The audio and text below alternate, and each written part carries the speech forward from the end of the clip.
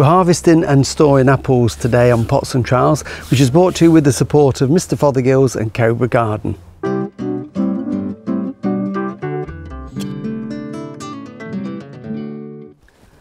Well, it's been a really good apple year for lots of people this season. Um, I think the mild spring that we had, good start to the summer. We did get some tricky weather in the summer, admittedly, but overall I think apples have done really well and trees are carrying a good crop, as is this one here in my little orchard. This is a cooking variety, a lovely, quite an early cooking apple. This one is called Norfolk Beauty and they've got some really good fruits. That's normal size fruit on there. It keeps, but it doesn't keep as well as a Bramley. A Bramley will store right the way through till next spring whereas this one really we need to eat it for Christmas. And to tell when to pick them is very easy because they all mature at slightly different times. Some apples are ready from August, some we don't pick until late October. So to test when they're ready, it's simply a case of just holding the apple in your hand and giving it a bit of a twist. And if it comes away fairly easily like that one, that tells us that that is ready to harvest. And we can often tell by the look of it, this one is just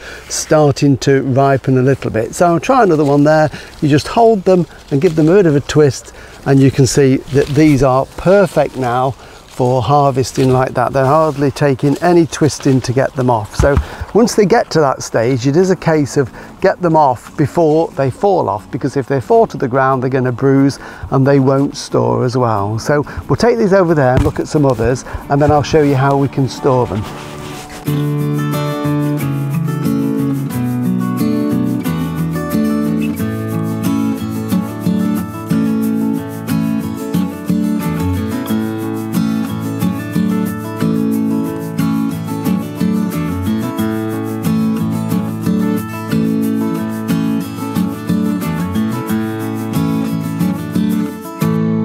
Well, apples come in all different shapes and sizes and they've all got their own distinctive flavour. This one is Egremont russet, so this is quite a late apple, very distinctive in its look. It's got this russety look on the skin there, so it's one that's easy to identify. We don't harvest this one until around the middle of October, so a few weeks yet before we can harvest it. And if I try these, these just aren't going to leave the tree without lots of tugging. So that tells us that it's not ripe, it needs a bit longer on the tree. But they're lovely, they've got a bit of a nutty flavour to them and I love them with a bit of Wensleydale cheese and a bit of crusty bread and they are absolutely delicious. So I'll come back to these later on. But just bear in mind when you are checking your apples to see if they're ready to pick, they don't all ripen at the same time. So the apples on the south side or the sunny side of the tree will often colour up more and they'll be ready to pick a few days or a week or two earlier than the ones on the north side which is in the shade. So it's a case of working around the tree, just testing them and pick them when they're ripe and then you can enjoy them.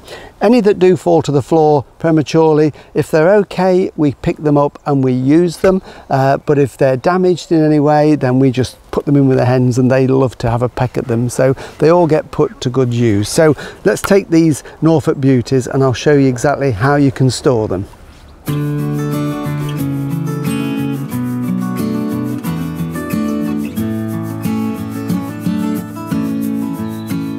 Well, as you can see, we've been busy picking and there's a lot more to go. So it's been a really good year. So we've started to pick a few of the early cookers. Mainly they're the ones that have fallen off in there. The pears have done really well this year. Normally I wouldn't pick them till the end of September, but they were bending the branches down so much I thought they were going to snap so I've had to pick them. I do need to get these away quickly because little Molly here she loves a pear. That's her favourite fruit. Pears and raspberries. She adores them both. Um, this one here this one is called Katie and this is a lovely eating apple ready sort of from early to mid-September. So we've finished picking these now. Really sweet apple. It juices well. You can literally pick these straight from the tree and it's one that you don't keep that long. You're right. Are okay? Oh dear, do you want a pear? You can't keep them that long. Um, so it's one that you pick and eat within a few weeks. But if you do want to keep them a little bit longer, then the secret is to keep them somewhere cool. So you could put them in a tray like this. Uh, only store apples that are in really good condition. I've just noticed this one, it's got a little peck on it there like that. So that one will probably end up just being peeled and eaten. And you must never store any that have got bruises on because that will rot and it will spread to the others. So we're only ever going to store perfect apples in a tray um, or the other way you can do it if you want to especially with apples like this one that aren't going to keep that long and things like the Norfolk Beauty. Store them in polythene bags. Just get a, a freezer bag like that place them in it and again you, you're watching. You're going to get an apple. Is that what you're thinking?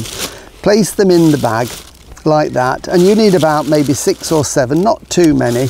And then what we're going to do is just gather that together like that and just then you could use a straw. I'm just going to suck the air out of it like that twist it round and then we can just put a tie around it. Molly you're in the way. Like that. Molly? No they're not for you. Just to seal that in and if you put those in a fridge, in the salad drawer of the fridge, they will keep for several weeks or the apples that you pick later will keep right the way through into the winter time. So it keeps them in a really, really good condition because it's cool and you've sucked the oxygen out of them. So you can store apples uh, other than a shed and they will keep really well in small quantities like that. And finally, when you're out there picking your apples, I know you're going to eat a few, but just keep an eye on the tree as well. Look for any signs of disease. And I'm touching this last because I don't want to touch the fruits after I've touched this. This is an apple that's got brown rot on it. And there's one or two hanging in the tree and it's a fungal disease and it gets uh, these spores land on it and then the apple starts to rot very quickly.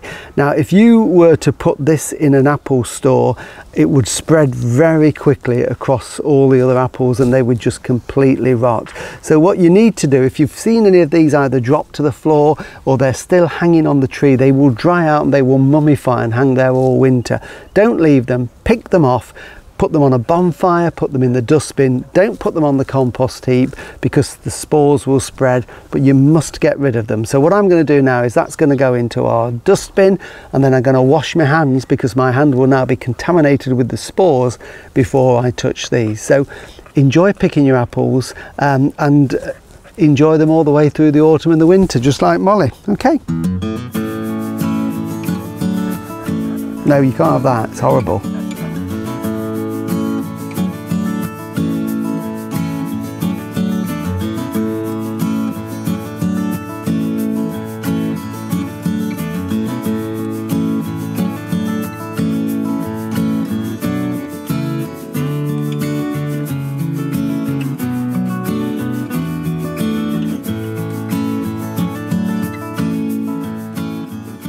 Well, thank you for watching Pots and Trowels and keep telling all your friends about us. Next time we're going to be catching up with a few jobs in the veg plot and doing a bit of compost. But for now, enjoy your apples. There you go, you can have a bit as well. It's a Katie, by the way.